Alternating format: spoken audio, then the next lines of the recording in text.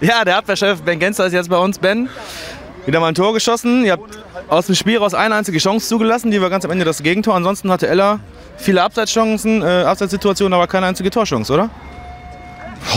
So nach dem Spiel fragst du mich.